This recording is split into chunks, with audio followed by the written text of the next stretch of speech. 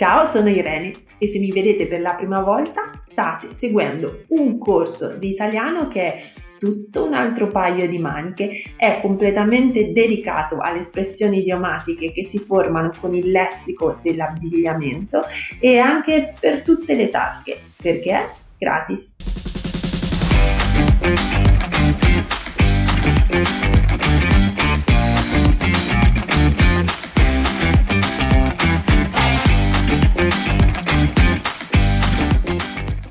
Ciao, benvenuti o bentornati in classe. Questa in realtà è la terza lezione di questo corso completamente gratuito. Se volete ricominciare dalla prima la trovate qui e anche nella descrizione del video, ma non c'è un ordine cronologico preciso. In questo corso potrete in ogni lezione arricchire il vostro vocabolario. È un corso gratuito, trovate qui le video lezioni. E su bestitalianclasses.com avete la possibilità di scaricare i pdf che io uso durante le video lezioni, così sono vostri per sempre. E cosa fondamentale fare subito i test in modo da memorizzare veramente le espressioni che avete imparato, tutto gratis. Nella lezione di oggi useremo solo tre parole, ma vi assicuro che sono di tutto il corso le espressioni forse più comuni che vedremo. Sono veramente tutte molto usate. Per cui cominciamo subito e cominciamo dal bottone. Come sempre partiamo da un esempio e poi facciamo delle ipotesi sul significato. Gli italiani amano attaccare bottone al bar. Che cosa significa? Che bevono molti caffè, che non pagano subito o che iniziano una conversazione con qualcuno che non conoscono. Che cosa significa attaccare bottone? Vediamo se avete indovinato subito la prima espressione perché attaccare bottone, che è un'espressione usatissima, significa iniziare una conversazione con qualcuno che non si conosce ma manteniamo praticamente la stessa espressione dove aggiungiamo un piccolissimo dettaglio e vediamo che il significato cambia leggermente. Ieri la mamma mi ha attaccato un bottone, non finiva più. Che cosa ha fatto? La mamma, se non ha realmente riattaccato un bottone alla camicia o alla giacca, Attaccare un bottone significa trattenere qualcuno con un discorso lungo e noioso. Insegnare, trasmettere dei valori, come fanno tutte le mamme. Accusare qualcuno di qualcosa che non ha fatto. Beh, in realtà sono tutte tre cose che prima o poi una mamma fa sempre, ma la risposta giusta è Attaccare un bottone a qualcuno significa trattenere qualcuno con un discorso lungo e noioso. Quindi c'è una sfumatura leggermente diversa rispetto a quello che abbiamo appena visto. Quindi abbiamo visto due espressioni, attaccare bottone con qualcuno e attaccare un bottone a qualcuno. La differenza fondamentale è l'uso di questo articolo un perché conferisce alla frase quel significato diverso che abbiamo appena visto. Quindi attaccare bottone con qualcuno significa iniziare a parlare, tentare un approccio. A volte, in base al contesto, può voler dire anche un approccio sentimentale, ma non per forza. Può anche trattarsi di qualcuno che semplicemente comincia una conversazione con voi in maniera spontanea. Se invece diciamo attaccare un bottone, allora stiamo dicendo che il discorso che ci ha fatto quella persona, che non è per forza una persona sconosciuta, era comunque lungo e noioso. Andiamo avanti, ma continuiamo a usare il bottone Cosa succede nella stanza dei bottoni?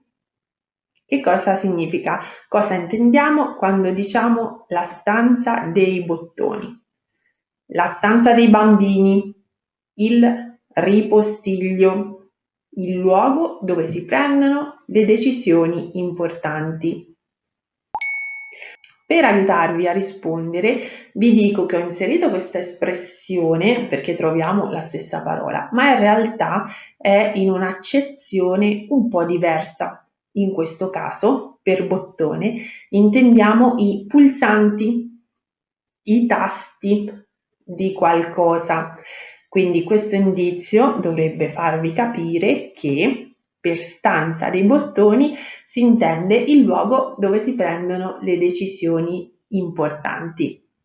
Quindi quell'ufficio, quel luogo segreto, qualsiasi posto da cui si mandano degli ordini, dei comandi attraverso dei pulsanti. Ovviamente può essere usata anche in maniera eh, metaforica o molto ironica. È il luogo dove si prendono le decisioni. Andiamo avanti con un verbo un verbo che componiamo insieme alla parola bottone. Mia figlia non si sbottona mai. Che cosa significa? Andare a dormire molto presto, quindi mia figlia non va mai a dormire molto presto. Essere ossessionati dalla cura del corpo con creme e prodotti vari. Aprirsi, parlare sinceramente di sé. Quindi mia figlia non parla mai sinceramente, non racconta mai che cosa le succede. Qual è la risposta giusta? Sbottonarsi significa aprirsi, parlare sinceramente di sé. Quindi qualcuno che si sbottona, attenzione alla forma riflessiva, non parla mai troppo di se stesso. Quindi io mi sbottono, tu ti sbottoni, noi ci sbottoniamo.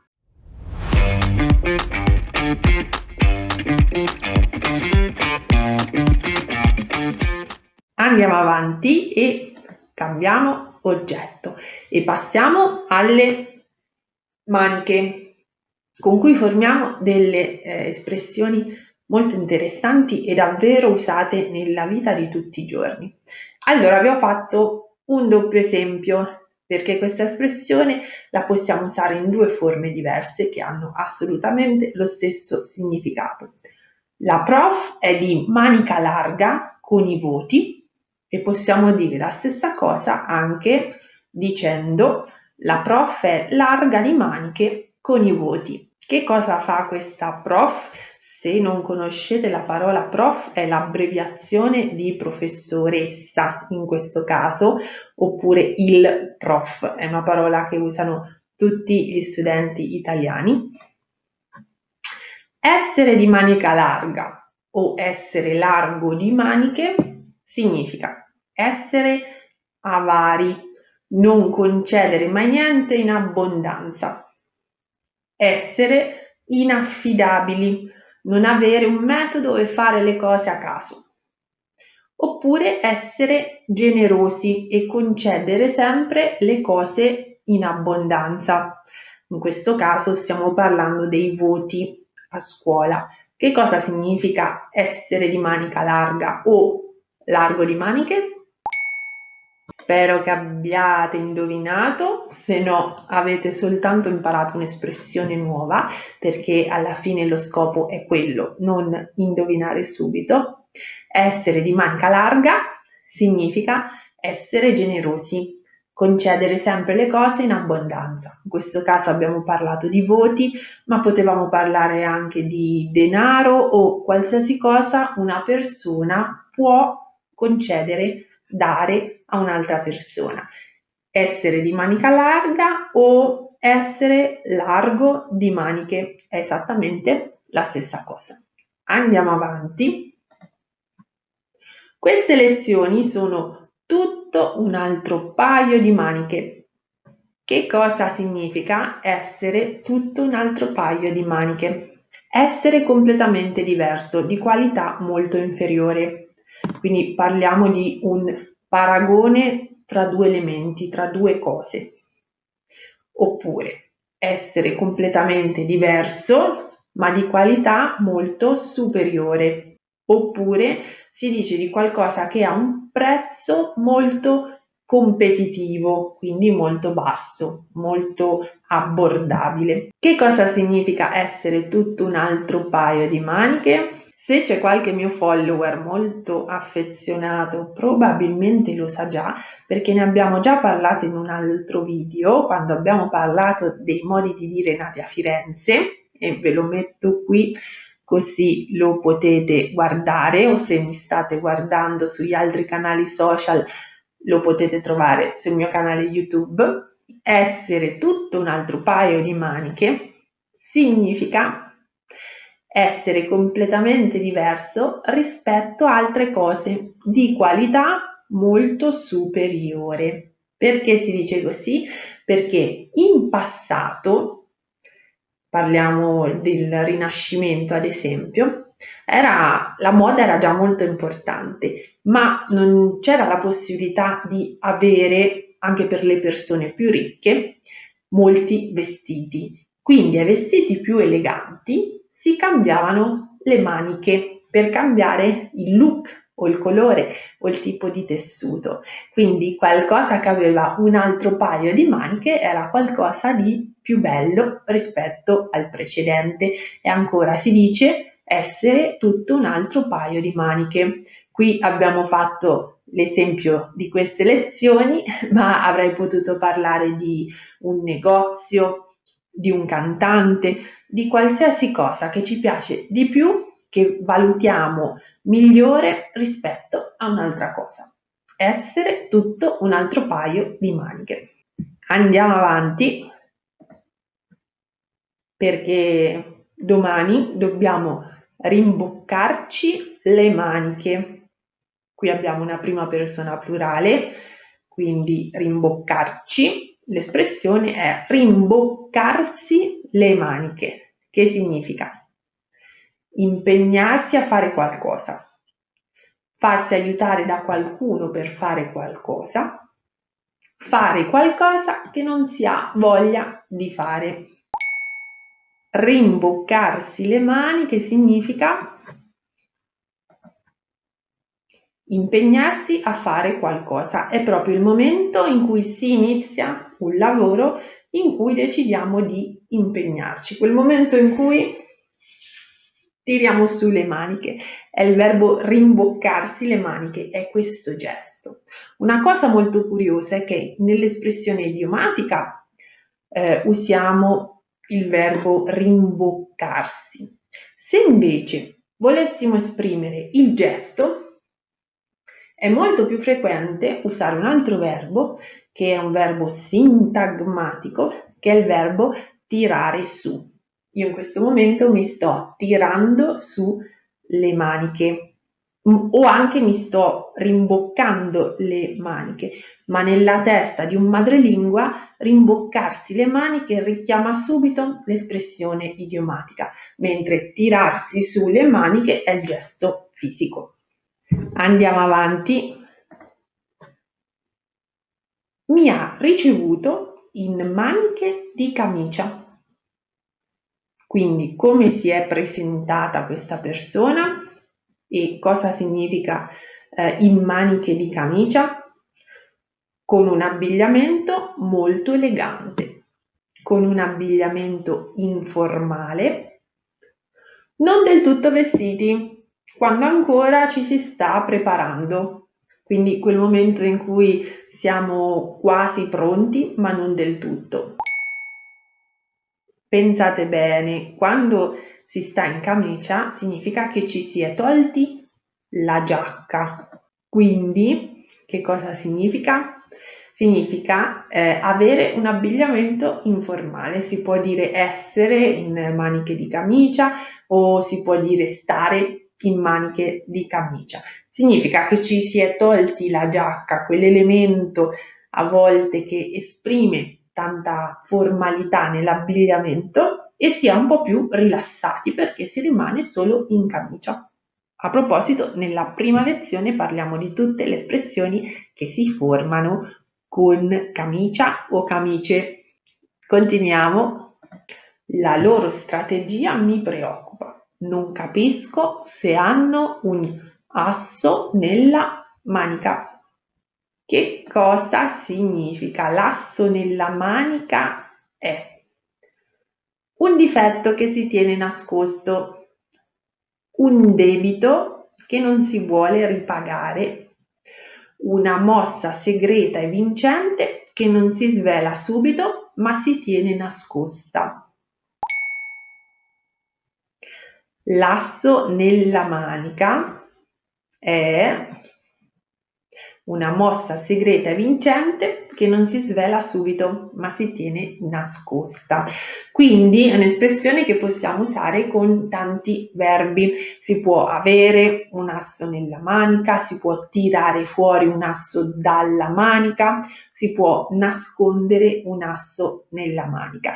E ovviamente non stiamo parlando della carta infilata nella manica, ma di una mossa segreta, la mossa vincente, la mossa strategica che non facciamo vedere ai nostri avversari fino a un certo momento della competizione, che ovviamente è una competizione figurata, si può trattare di tantissime occasioni, situazioni diverse. Continuiamo e passiamo all'ultima parola di questa lezione che è tasca, tasche. Anche con tasche costruiamo delle espressioni che sono veramente comunissime nella lingua di tutti i giorni, come questa qui. Conosco Roma come le mie tasche. Che cosa significa? Conoscere qualcosa come le proprie tasche significa conoscere benissimo qualcosa. Non conoscere per niente qualcosa, credere di conoscere qualcosa ma accorgersi che non è vero. Conoscere qualcosa come le proprie tasche significa conoscere benissimo qualcosa.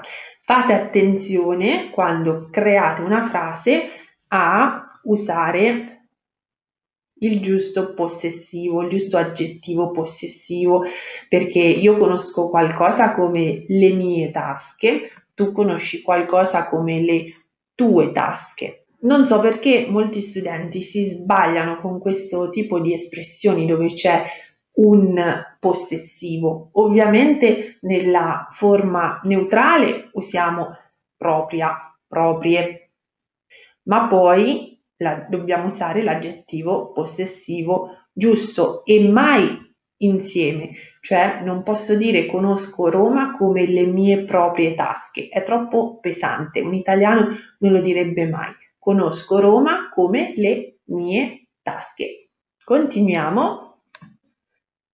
Hai proprio le tasche bucate. Che cosa significa? Non avere stile nel vestirsi. Spendere sempre tutto il denaro che si ha a disposizione. Essere sempre arroganti. Se hai le tasche bucate, significa che spendi sempre tutto il denaro che hai a disposizione e non riesci a risparmiare, perché nelle tasche bucate ovviamente i soldi cadono subito. Molto spesso il concetto di tasca è associato al denaro che abbiamo con noi, perché di solito i soldi si portano in tasca. Andiamo avanti, perché ne ho davvero le tasche piene. Che cosa significa? Avere le tasche piene di qualcosa. Essere stufi di qualcosa, avere sopportato abbastanza. Avere qualcosa in una quantità troppo abbondante, non solo denaro, anche altre cose. Avere ottenuto quello che si desiderava, aver ottenuto il proprio scopo. Averne le tasche piene o avere le tasche piene di qualcosa significa essere stufi, avere sopportato abbastanza. Ne ho le tasche piene. È anche un modo molto elegante di evitare espressioni un po' più volgari. Averne le tasche piene. Continuiamo perché abbiamo ancora qualche espressione con le tasche. Per esempio questa. Il diploma ce l'ho già in tasca. Quando diciamo una cosa del genere, quando parliamo di qualcosa dicendo di averlo già in tasca, significa avere ottenuto qualcosa già da molto tempo, quindi ce l'ho già da un sacco di tempo. Avere ottenuto qualcosa che non ci serve, oppure essere sicuri di ottenere qualcosa che ancora in realtà non abbiamo ottenuto. Avere qualcosa già in tasca significa lo usiamo quando siamo sicuri di ottenere qualcosa che ancora in realtà non abbiamo ottenuto. Quindi nell'esempio il diploma ce l'ho già in tasca, parla qualcuno che in realtà il diploma ancora non ce l'ha, ma è sicuro di ottenerlo con molta facilità. Avere qualcosa già in tasca. Prossima espressione, se volete partire con noi dovrete pagarvi l'hotel di tasca vostra. Che cosa significa di tasca propria? Con le proprie risorse economiche, con le risorse economiche degli altri, fare qualcosa senza in realtà avere abbastanza soldi. Quindi Torniamo a quell'accezione di tasche con cui ci si riferisce al denaro e questa espressione significa con le proprie risorse economiche. Era abbastanza facile da intuire, credo.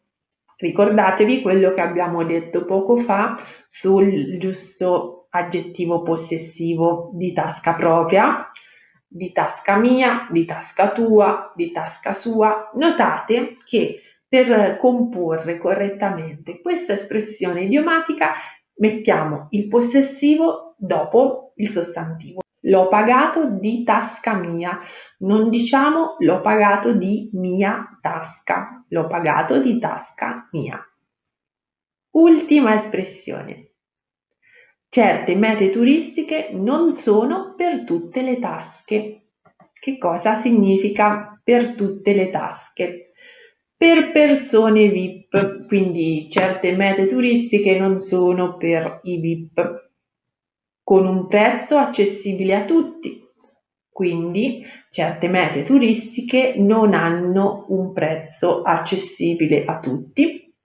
Oppure si dice di un posto troppo piccolo per la quantità di gente che di solito lo frequenta. Per esempio ci sono tantissime località turistiche italiane che sono sempre molto affollate anche se sono piccole. Ma qui che cosa vogliamo dire?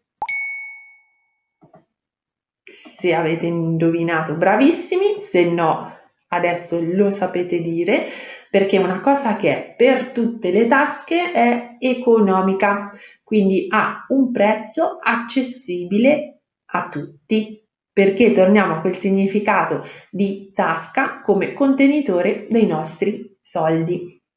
Bene, siamo arrivati alla fine anche della terza lezione, la fine per modo di dire perché vi ricordo che in maniera completamente gratuita potete andare su bestitalianclasses.com, fare dei test su queste espressioni che sono fondamentali per memorizzare subito quello che avete appena imparato e potete anche scaricare le slide che io ho usato durante questo video e tenerle sempre con voi. Ci vediamo nella prossima lezione. Buono studio, ciao ciao!